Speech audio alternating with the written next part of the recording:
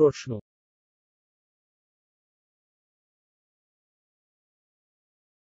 শিলা কি?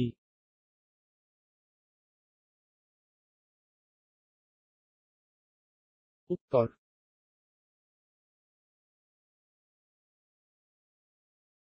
বিভিন্ন প্রকার খনিজ প্রাকৃতিক উপায় সংমিশ্রিত হয়ে যে পদার্থ গঠন করে তাকে শিলা বলে।